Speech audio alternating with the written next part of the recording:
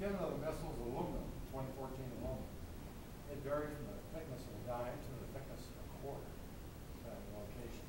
There's also the size of the propellant tanks. Look at the side of the missile, you see a little brown cone. Those are retro rockets. They had two of them in the second stage. After it's separated from the reentry vehicle, up the second stage away from the reentry vehicle, because it uh, followed the reentry vehicle back into the atmosphere.